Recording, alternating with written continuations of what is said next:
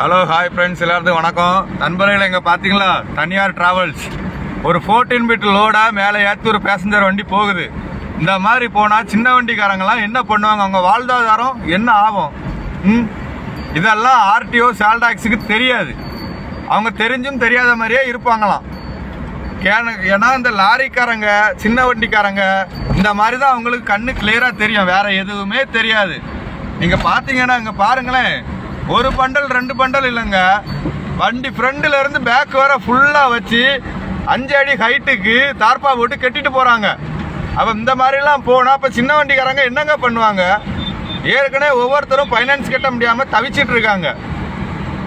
இதெல்லாம் அரசு நடவடிக்கை எடுக்காது. பேசஞ்சர் பஸ்ல நீ பேசஞ்சர் ஒருத்த ஏத்து. இங்க பாருங்க அந்த வண்டியில என்ன லோடு போகுது நீ காட்டுறோம் பாருங்க நீங்களே.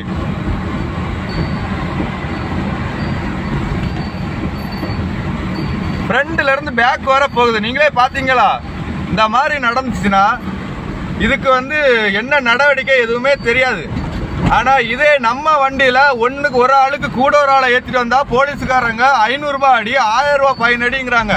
ஏதோ அவங்க நமக்கு காசு கொடுத்த மாதிரி நம்மகிட்ட சொல்றாங்க ஃபைன் போட்டு தான் போகணும் அப்படின்னு சொல்லிட்டு. அப்ப இதெல்லாம் பிடிச்சி ஃபைன் போட வேண்டியதானங்க இதெல்லாம் உங்களுக்கு கண்ணு தெரியாது.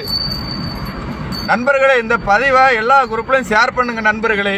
இந்த மாதிரிலாம் பண்ணால் சின்ன வண்டிக்காரங்க சீக்கிரம் அழிஞ்சிருவாங்க.